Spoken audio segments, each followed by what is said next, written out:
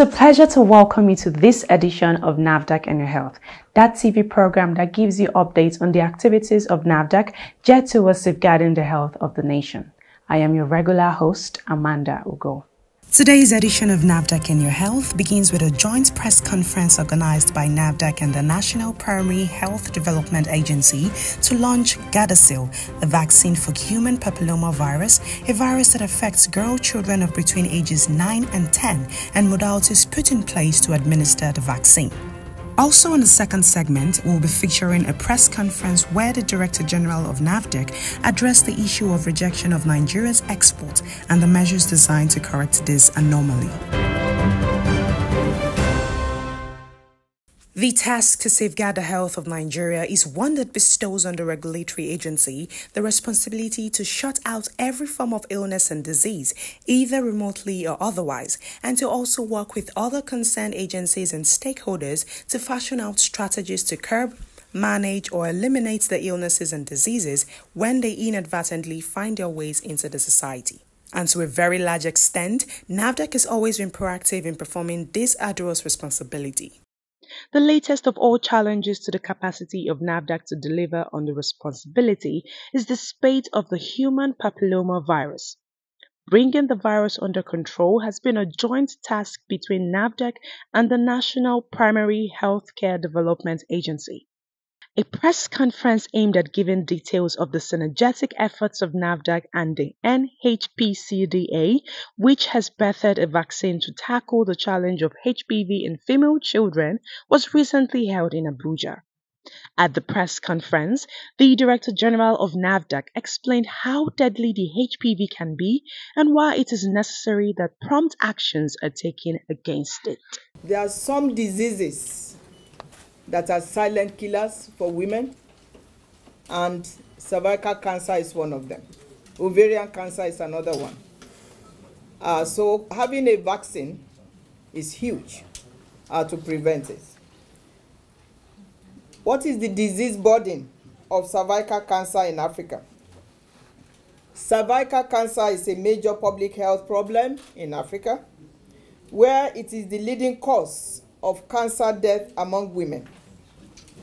According to the World Health Organization, about 119,000 new cases and 81,000 deaths from cervical cancer occurred in Africa in 2020, accounting for 22.5% of the global burden.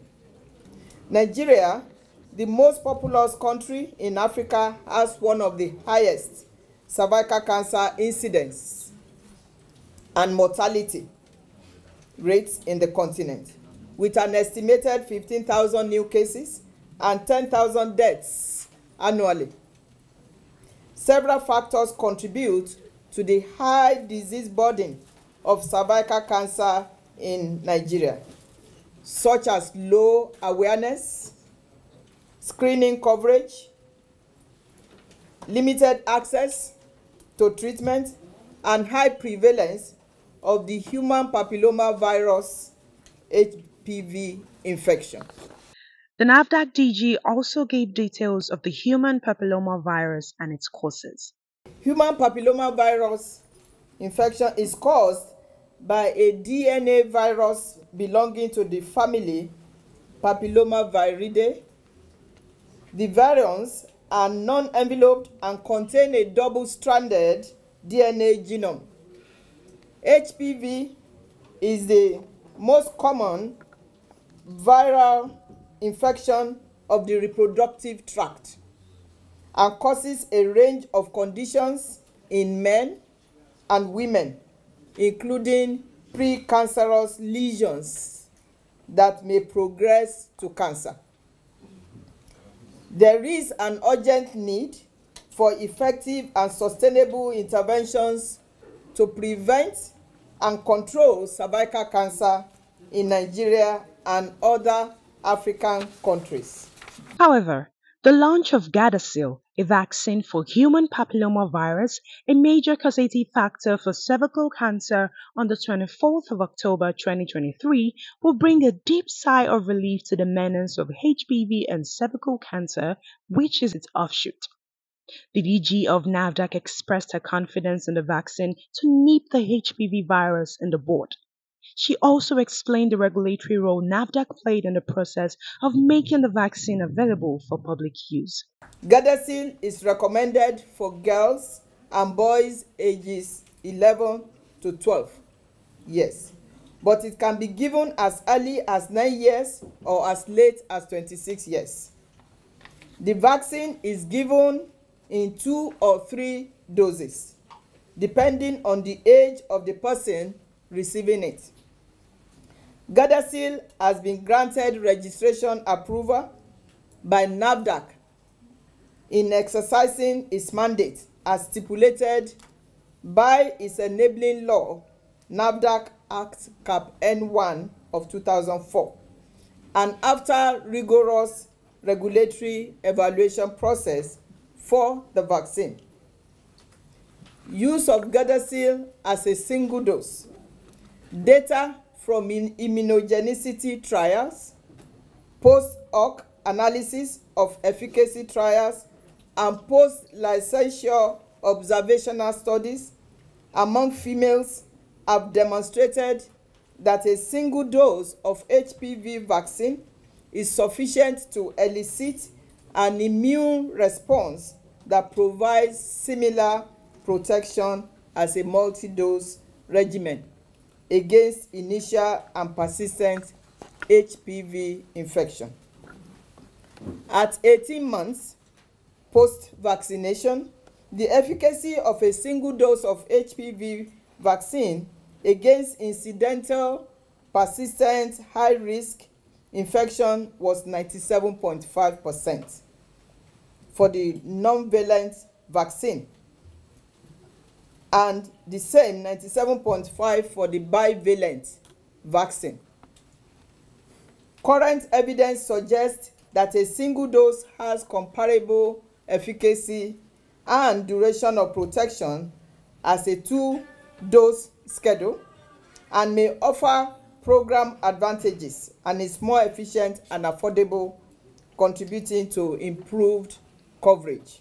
The executive director of the National Primary Health Care Development Agency, Dr. Faisal Shuaibu, also spoke on the health risks caused by the human papillomavirus as well as the ability of the newly launched Gardasil vaccine to tame the virus. By immunizing girls at an early age, we aim to shield them from the most common HPV strains responsible for cervical cancer later in life. The HPV vaccine has been scientifically proven to be safe and effective in preventing HPV infection and reducing the risk of cervical cancer. I am delighted to stand here with the DG of NAFDAC and our partners and donors to share that this vaccine will be provided free of charge to all eligible girls in Nigeria commencing on October 24, 2023. The executive director also highlighted the benefits of the Gardasil vaccine to drive home his points. The introduction of the HPV vaccine is not just a medical advancement, it is a profound leap forward in our mission to protect the health and aspirations of our young girls.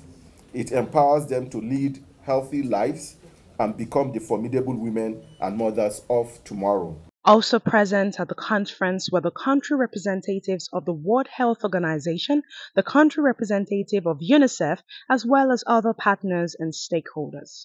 If you look at the age group which is going to be vaccinated, is above our usual under five years.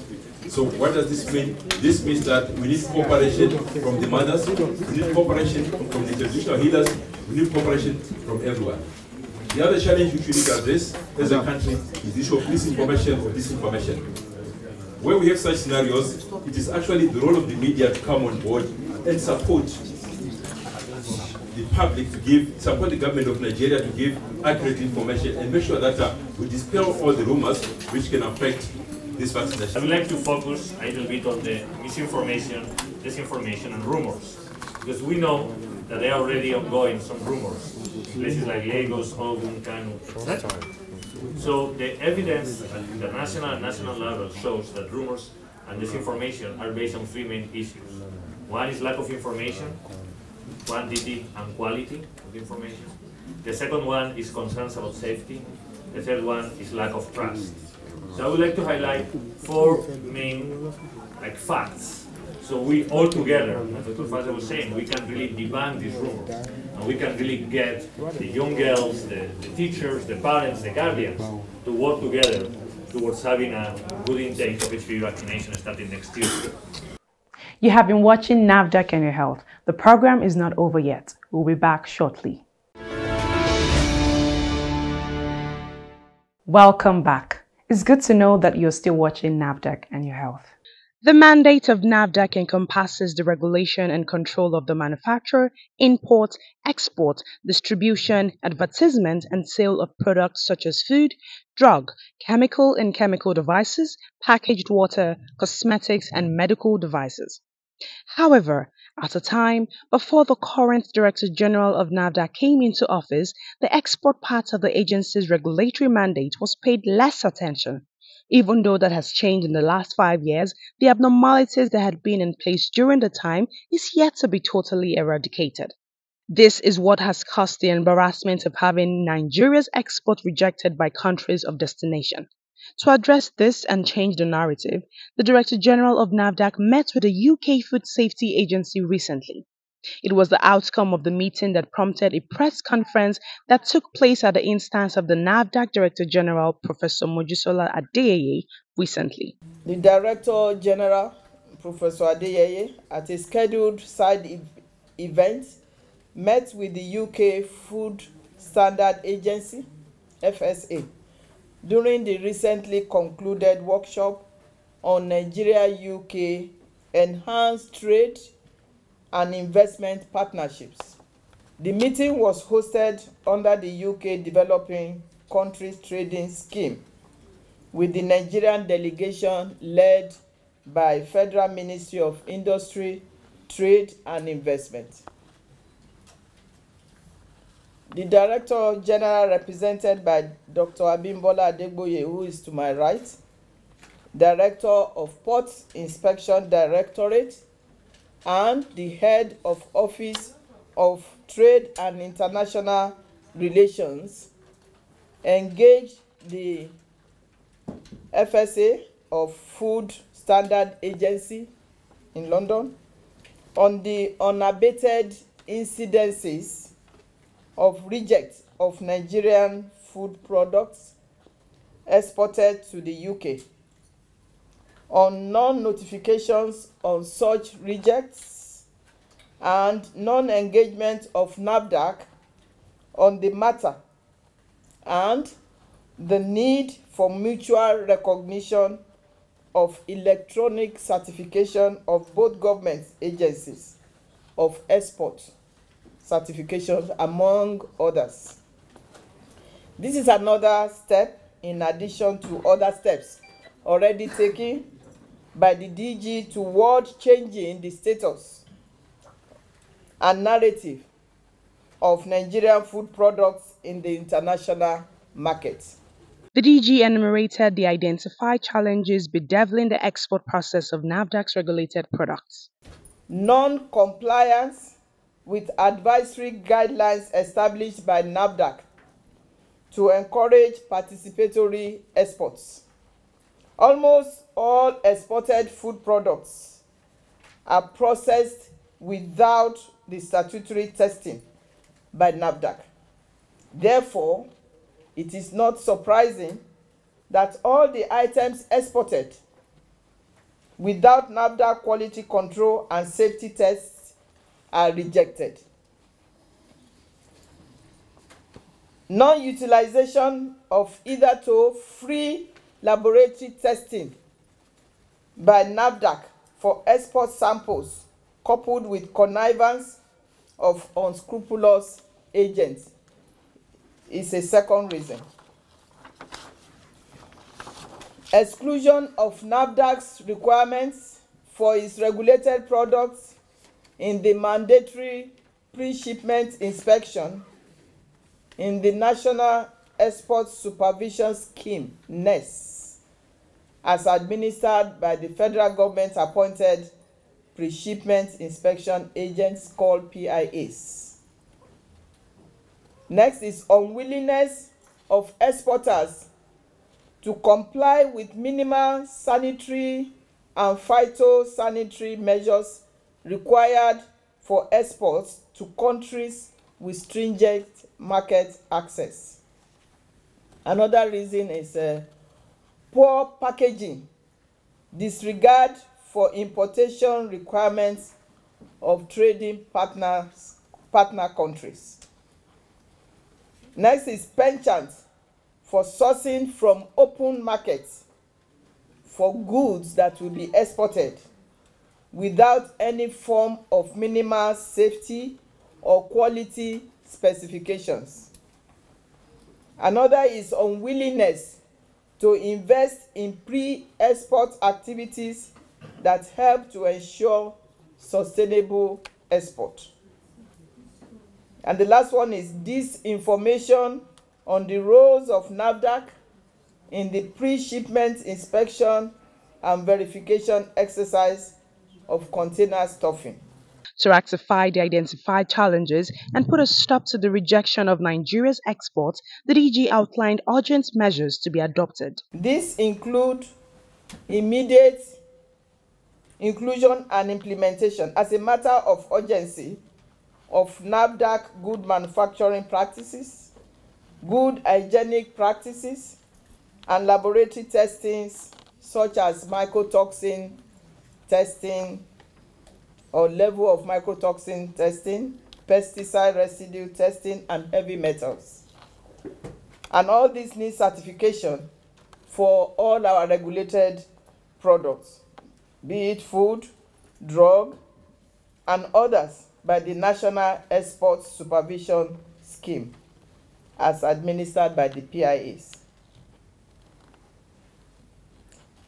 Inclusion of NAFDAC in the CBN export proceed form processing is another way to ease the pain that merchants are going through because of loss of investment. I'm engaging very soon with the Controller General of Customs as the new administrator of the Nigeria Single Window Trade Portal to facilitate this. I had earlier engaged with CBN, Trade and Exchange Division, and Federal Ministry of Finance, Home Finance. Thirdly, strengthening in-country regulatory infrastructures on exports and the mechanism that we're going to use include development and introduction of NAFDAC regulations on export 2022. We have that regulation finished and will soon be available for stakeholders to make comments. The regulation will be hosted on NAFDAC website with e-copy sent to exporters, trade associations, and professional bodies for their inputs and comments within the next 60 days uh, that started from 11th October. It's already there? Yes, okay, 11th October 2023. Another means is registration by NAFDAC of all exporters of its regulated products. If an exporter doesn't have our registration number, we have, if we have not inspected, tested, we will not allow that export to go. This is in addition to the general registration by the Nigerian Export Promotion Council, NEPC. Another means is NAFDAC's continuation of its awareness and sensitization meetings with export trade operators on its reviewed guidelines on export of NAFDAC regulated products. This is also on NAFDAC website for compliance. We're going to be working closely with NAFDAC sister agencies. We have tried that actually several times. And major trading partners on safety and quality of Nigerian exports starting with UK and EU. We will, this is part of the efforts to continue the trying, and we believe this time is going to work because the shame that rejection of our products brings to us is huge as a country. We're going to have evidence-based national monitoring of pesticide residues as part of continuous engagement with UK FSA, Food Safety Agency, and as a roadmap for the lifting of the ban on dried beans by first quarter of 2024 as a roadmap towards lifting of the ban on dried beans by first quarter 2024. We're going to continue to have engagement internally with CBN, Federal Ministry of Finance, Customs, NAQS, and externally with European Union. With European Union, we are already getting some results.